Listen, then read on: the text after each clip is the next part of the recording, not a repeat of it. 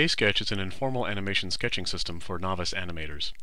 Unlike conventional animation tools, K-Sketch has a simple interface that relies on users' intuitive sense of space and time, allowing them to create animations faster and with less learning time. Our field studies showed that fast, rough animations can be a powerful communication tool.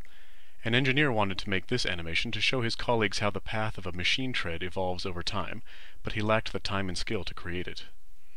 K-Sketch makes animation more accessible to such people. At a first glance, K-Sketch looks like little more than a drawing application. The interface has three regions, a toolbar at the top, a canvas where animations are created and viewed, and a set of time controls at the bottom. K-Sketch assumes the presence of a physical alternate button that users operate with their non-dominant hand to access alternate modes. This can be a tablet PC bezel button, or a handheld remote control button, or a keyboard key. When users hold an alternate button, they can select objects by drawing a loop around them. Selected strokes are rendered in outline and overlaid with a manipulator that allows them to be moved, rotated, scaled, or oriented to a path depending on where the user grabs it. A context menu can be accessed through a button just below the manipulator. This contains functions for moving or rotating the manipulator relative to the selected object. K-Sketch models animation as a sequence of editing steps over time. By default, an edit happens instantaneously at the time indicated by the time slider bar. This makes it easy to switch to different views of an object.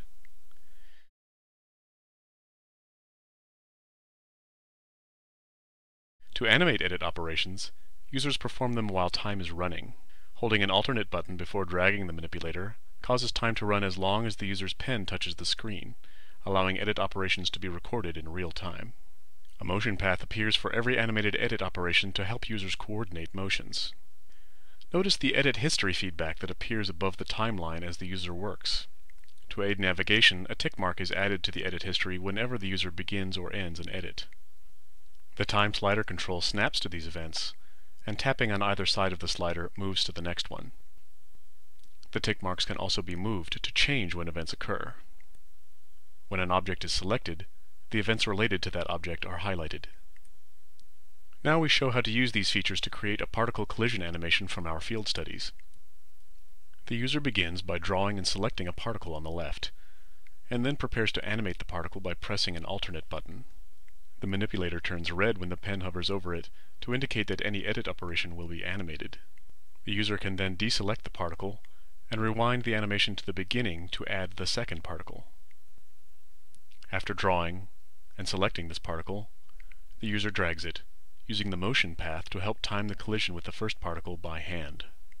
The user can then erase both particles and replace them with an explosion. Finally, the user rewinds and plays the animation. K-Sketch also has powerful features for editing motions and adding layers of motion. If the user is not satisfied with a motion, she can simply record the motion again to replace it.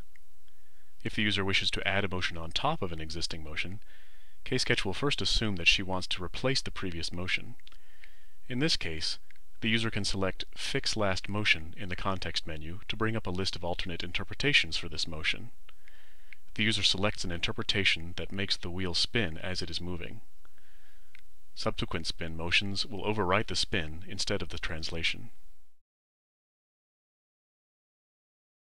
The user can also add motions by copying existing ones the user first selects the motions of an object by clicking Select Motions in the context menu.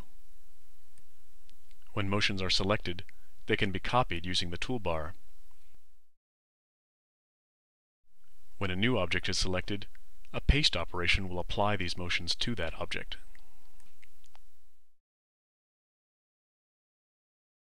We compared K-Sketch to Microsoft PowerPoint in a laboratory experiment with novice animators, and found that K-Sketch was about three times faster and required half the learning time.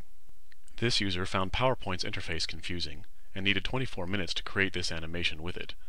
The same user created this version in 5 minutes with K-Sketch. He was as comfortable showing the animation to others, and much more comfortable creating it in front of others. Another user needed 15 and a half minutes to create this animation with PowerPoint, he spent lots of time tweaking the motion paths of the dancers, but gave up under time pressure. The same user created this animation in four and a half minutes with K-Sketch and was more satisfied with the results.